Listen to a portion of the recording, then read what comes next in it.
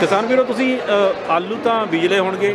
ਔਰ ਆਲੂ ਹੁਣ ਪੱਟਣ ਦੀ ਤਿਆਰੀ ਤੇ ਲੱਗੇ ਹੋਏ ਆ। ਅੱਜ ਮੈਂ ਇੱਥੇ ਐਗਰੋਟੈਕ ਚੰਡੀਗੜ੍ਹ ਦੇ ਵਿੱਚ ਆਇਆ ਹੋਇਆ। ਇੱਥੇ ਸਵਾਨ ਕੰਪਨੀ ਹੈਗੀ ਹੈ ਜੀ। ਉਹਨਾਂ ਨੇ ਵੀ ਆਪਣਾ ਪ੍ਰੋਡਕਟ ਲੈ ਕੇ ਆਏ ਹੋਏ ਆ ਜੀ। ਪੋਟੈਟੋ ਡਿਗਰ ਦੇ ਨਾਮ ਤੇ ਹੈਗਾ ਜੀ।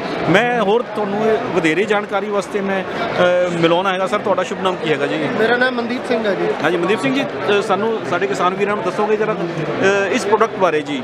ਇਹ ਸਰ ਨਿਊਜ਼ਮੈਨ ਦਾ ਪ੍ਰੋਡਕਟ ਆ ਪੋਟੈਟੋ ਡਿੱਗਰ। ਤੇ ਇਹਦੇ ਨਾਲ ਅਸੀਂ ਆਲੂ ਦੀ ਪਟਾਈ ਕਰ ਸਕਦੇ ਆ।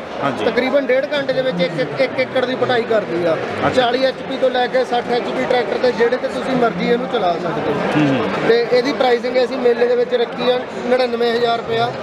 ਬਾਕੀ ਡਿਸਕਾਊਂਟ ਆ ਇਹਦੇ ਤੇ 3000 ਰੁਪਏ ਦਾ ਐਟ ਦਾ ਟਾਈਮ ਤੇ ਪਾਊਡਰ ਕੋਟਿੰਗ ਇਹਨੂੰ ਕਲਰ ਹੋਇਆ ਹੋਇਆ।